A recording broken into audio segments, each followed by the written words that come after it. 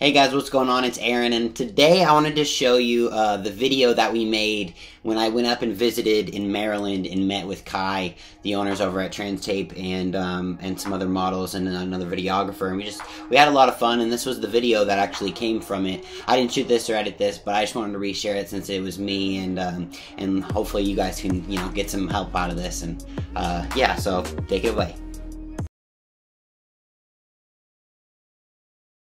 What's going on everybody? My name is Aaron. I've been a Transtape user for about two years now um, and I was binding originally um, and then I found this as an alternative option um, to binding and I had to give it a try.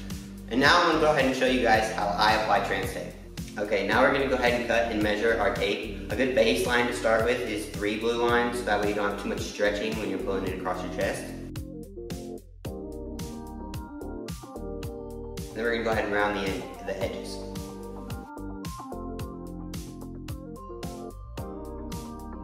So we've got our piece, we've uh, separated this tape, and we pull our first flap back. So this is kind of gonna act as a handle. We're gonna try not to touch this, this tape part as much as possible. So we're gonna do the same thing on this side so you have a, a handle on this as well.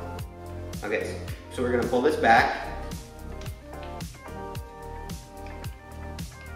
and make this second handle. So now you've kind of got two right here. You're gonna wanna try to leave your hands off this, this middle part so it doesn't lose its stickiness. And go halfway so you're getting half, half your stomach and half the rest of it. The crust is in the middle of the piece of tape. So you wanna line it up on the angle so that it's in the middle here with your shoulder. So right now you've already got rid of that Mm-hmm. so from here, yep, you're just going to take your hand, push, and it's going to create the extra on top like this. but then you're going to take your second size, about halfway, because there's no need to tape any of that. And if you start, you, it needs skin coverage, so just make sure the tape is touching the skin here. And this has to surpass the first piece. There's nothing. There's no Wow. That looks great. So it's just to keep this from being like an extra upper food that can trigger people. So I'm just going to activate it again and I'm just going to pull it and smooth all that over.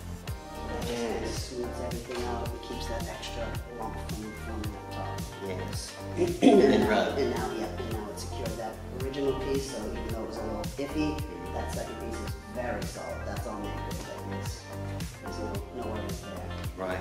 It feels secure too. Like I can really, I really feel like. Yeah, like if you were to go to the gym or do something like wrestle, like roll around on the ground, it's not going to come off. It's more the finished product, and now you can, you can go to bed, you can take a shower, yeah. you can. I feel it. Go to the gym, yeah. Yeah, I like that.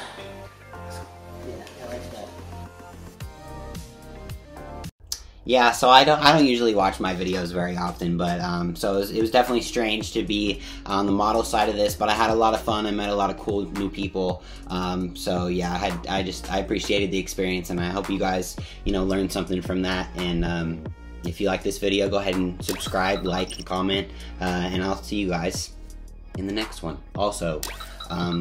Lone Wolf District is my new Facebook group. If you need any kind of gender affirming gear, super easy to win over there. Go check it out.